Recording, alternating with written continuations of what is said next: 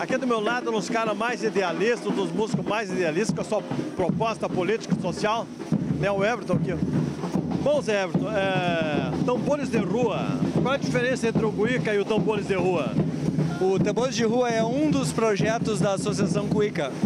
A Cuica desenvolve as oficinas de percussão e a partir das oficinas de percussão a gente desenvolve um conjunto de outras ações. É, a gente começou em 2005, financiado pela Lei de Incentivo à Cultura, né, que vem possibilitando que a gente possa, ao passar dos anos, a gente ir construindo um movimento. E o Tambores de Rua, que também é um projeto financiado pela LIC, ele é um projeto que tem a intenção de levar o som dos tambores para algumas comunidades. E hoje a gente está aqui fazendo esse movimento na feira, né, que é a universidade também é uma parceira nossa já de longa data.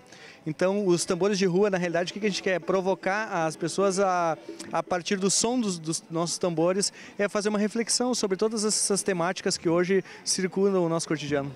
Continua mesmo aquela proposta política social toda, inclusão social também? Claro, certamente. Essa, essa é o grande objetivo da Associação Cuíca, é proporcionar oportunidade para que as pessoas tenham, no mínimo, essa sensação que a gente percebe aqui, né?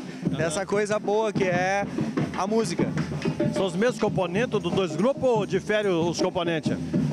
Olha, a, ao longo da nossa trajetória a gente vem assim, é, o grupo tem, tem tido uma rotatividade, óbvio que tem alguns que permanecem, né? Mas ocupando algumas atribuições hoje. Por exemplo, nós temos aqui hoje alguns que estão vindo pela primeira vez tocar no grupo de percussão. Tem aqui alunos do Miguel Beltrame, alunos do Lívia Menda Barreto, do Edna Mai Cardoso, do Vicente Farencena, do Júlio do Canto, do antigo Renato Zimmermann, do Cefasol, do Centro de Referência Familiar. Tudo isso num grande movimento que é coordenado pela Cuica. E tem limite de idade a participar do projeto? Estou vendo crianças bem pequenininhas aqui já inserido no, pro, no teu é, programa. A gente diz que a gente atende a partir dos 12 anos, mas tem algumas pessoas que têm nos procurado e solicitado que a gente dê a oportunidade que seus filhos participem. Então a gente, na medida do possível, a gente tenha né, aceitado trabalhar com os menores. Everton, eu sei que na Vila Maringá tem dois componentes do Cuica que fizeram um projeto social lá. E eram alunos até que tinham problemas sociais até, de, de inclusão. E hoje na banda do, da terceira DE é um ex-componente do Cuica. Como é que tu vê essa gurizada hoje mandando a tua mensagem, obedecendo aqueles princípios que tu deu dentro do Cuica? É, na realidade assim, ó, a gente hoje tem alguns meninos e meninas que começaram com a que nem esses pequenininhos que estão começando aqui. E hoje eles já desenvolvem ações lá na, na escola Diácono João Luiz Possobon, tem o Pablo, tem a, a Mirelle, coordena um trabalho junto às crianças no Cefasol, no Lívia Mena Barreto e no Miguel Beltrame, com os pequenos. O Rafael coordena o trabalho na, no Lívia Mena Barreto e no Miguel Beltrame com os adolescentes. E o Luiz Henrique coordena um trabalho com os menores, com os adolescentes também no Lívia. Né? A gente tem um trabalho em parceria junto com o Tantão, que desenvolve ações lá no Xavier da Rocha e no Patronato e no Pinheiro Machado e no Marechal Rondon também. Que é uma parceria da Cuica também com outros músicos que desenvolvem ações nessas outras escolas. Na banda do Exército nós temos dois. Temos o Jayco que está na terceira DE, que apresentou aqui hoje, que é um dos monitores da Cuica também.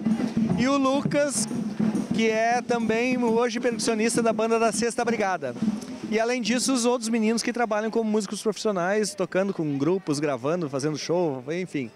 Então é isso aí, a gente está aos poucos né, constituindo um grande movimento, que é isso que é a coisa que a gente chama, né, de dar valor a esse tambor que a gente tem dentro do peito.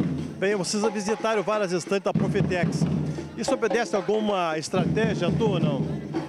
É, dar visibilidade para o projeto e chamar a atenção das pessoas, né? Porque eu acho que a partir do momento que as pessoas veem esses meninos e essas meninas tocando tambor e sentem o que isso pode proporcionar em cada um, essa emoção, eu acho que coloca a refletir o quanto de responsabilidade que a gente tem no mundo que a gente vive.